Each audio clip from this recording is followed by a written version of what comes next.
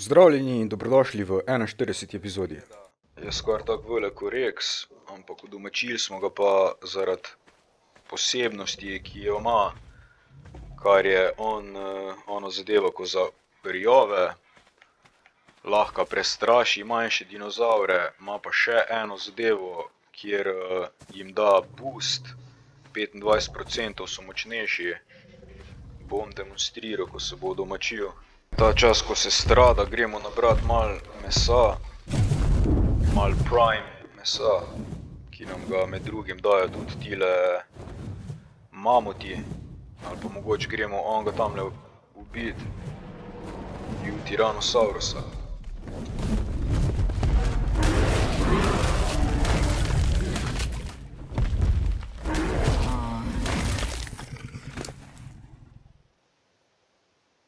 dobili smo še pljuča od Tyrannosaurusa, ko je tudi ena od zadev, ki jih bomo rabili za boss fight'e. In dobili smo seveda full primita. Tako ga bomo kar nesli na našega Jutija.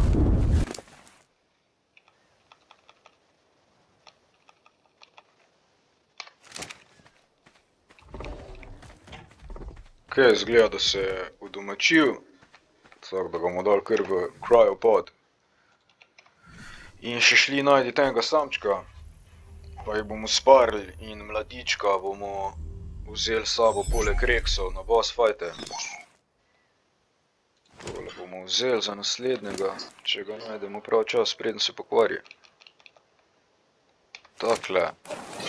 Pa se vidimo, ko najdemo naslednjega.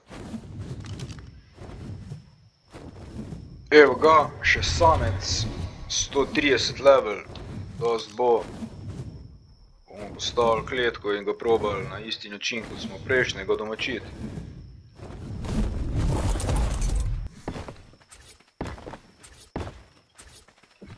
Takle pa še rampe.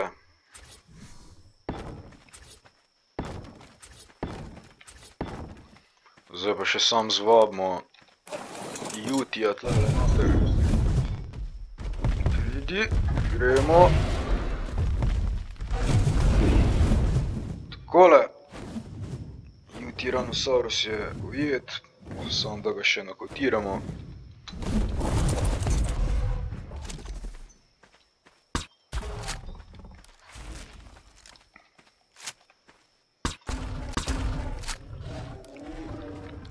Evo, še drugi je padel. Ta čas, ko strada, bomo malo zaplesali na njegovi glavi.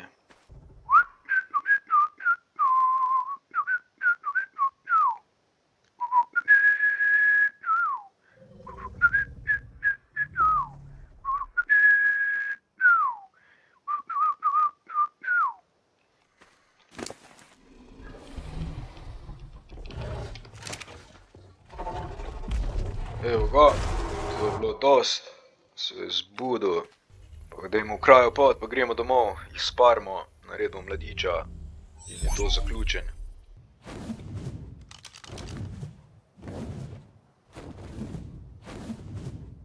Sto petdeset level ve vešča, mogoče ko smo že glih tle, še probamo to domačiti.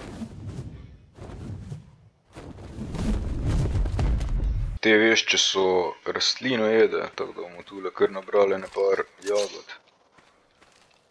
Sicer bi rajši imela zelenjavo, se pravi limonce, krompir, koruzo ali pa korenje, samo zelenjamo tega, upam, da bo šlo tudi z borovnicami.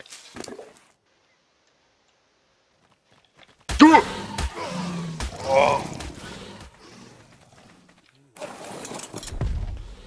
Ne! Pusti mojo veščo.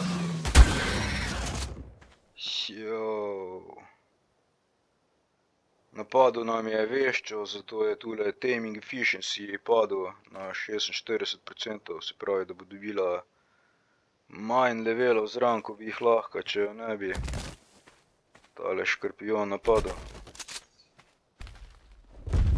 Boljše, da zmaja prekiramo zraven, da si ne bojo drznali ostali. Evo, vešča se je udomačila. Pa ker dajmo tudi v kraju pot, pa gremo domov.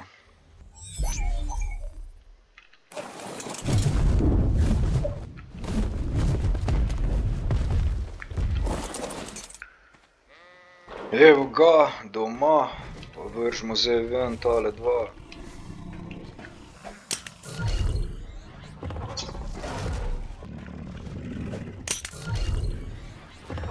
Takle pa jim dajmo, da se parita behavior enable meeting.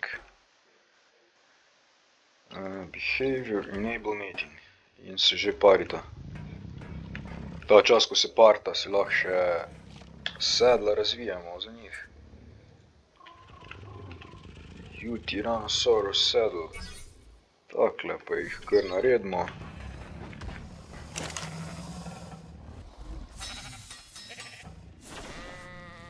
Takole sedla imamo. Ta čas lahko še tole odložimo, ko imamo za boss fajte. Alpha Tyrannosaurus tooth, se pravi zob od Alpha Tyrannosaurusa. Pol imamo Sarko skin od unga krokodila, koža.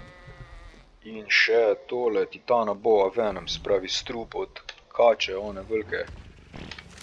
Tako da to je to, mogli bomo še ful tega nabrati, čak pa smo še imeli pljuče od U Tyrannosaurusa. Tole.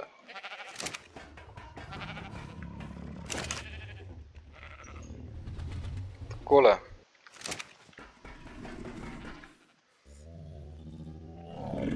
Jajčka se bo tudi vsak čas valila, ta čas damo lahko sedla gor.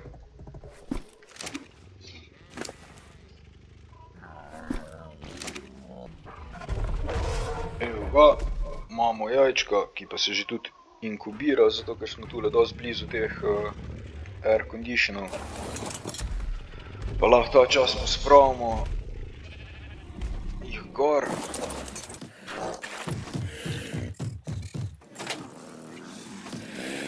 Parkirali bomo tule v tretje nadstropje, kjer imamo ostale starše.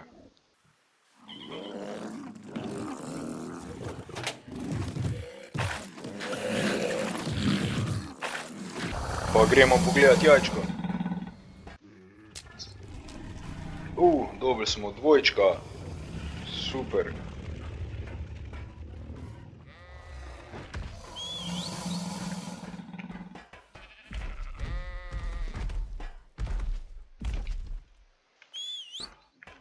Dajmo jim še meso obema, da ne bota stradala.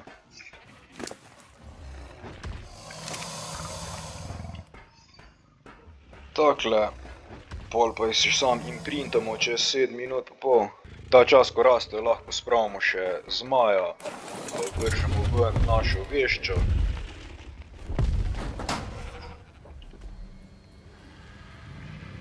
Povržemo ven še to veščo zdaj.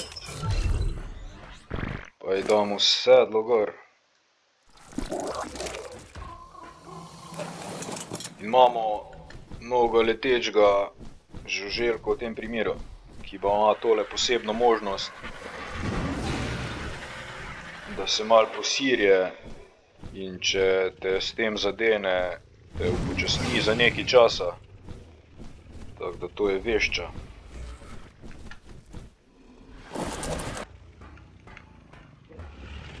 Evo, še imprinti vsak čas. Kadl. 25%, tega bo treba štirikrat, ok. Kadl.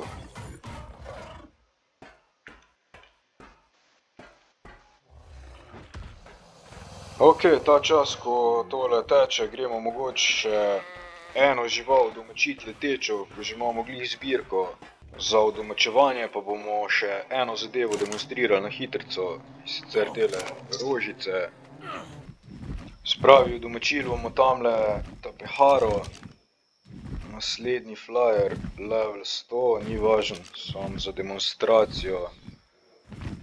Zvabiti jo bomo pa probali s telemi rožicami, spravi, če poješ tole rožico, postanejo tudi rastlinoedi, dinozauri, ki sicer zbežali, postanejo agresivni in te začnejo napadati, napadati. Tako da jo bomo probali kar v našo bazo speljati. Pojedli bomo še eno. zraven sem jih vzel sam pet. Upam, da bo dost. Idi. Zdaj pa načrt je, da jo speljamo v našo bazo.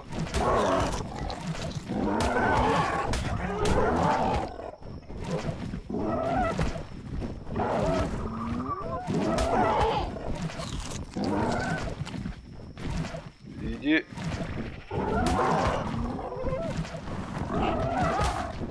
Op, op, smo je mladiče. Zapremo vrata na hitrice. In jo nokautiramo.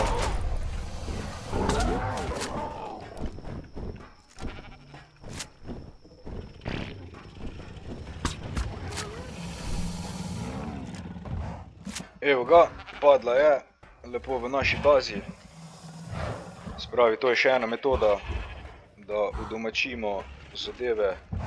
Zdaj pa, ker nimamo nič eh, mesa za tegale, za tole tapiharico, bomo kar eno ovčko žrtvovali. Ker jih v bistvu za ta namen tudi gojimo. Tako da žal mi je ovčka.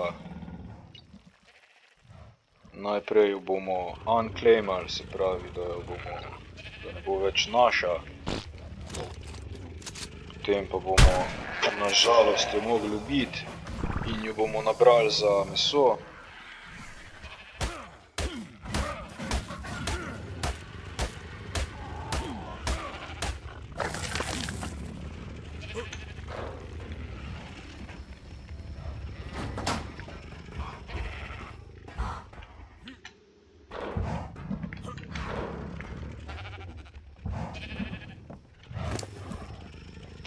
Je kar dajmo zdaj tole ovčevino.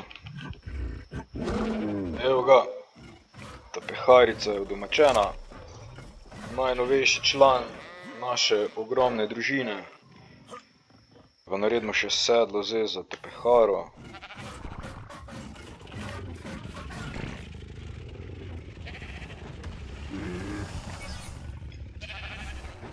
Mogoče že imamo kaga. Mm, Ne.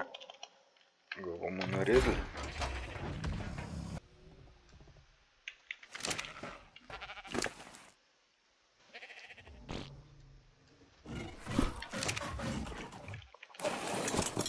Evo, in imamo sedlo novega letalca, gremo kar gor. Posebnost te tapehare je, da se lahko prime stene Takle. Potem lahko dol tudi streljamo.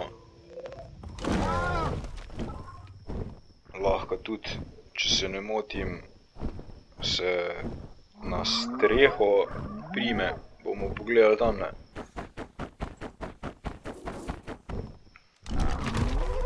Tudi na streho se lahko prime, no.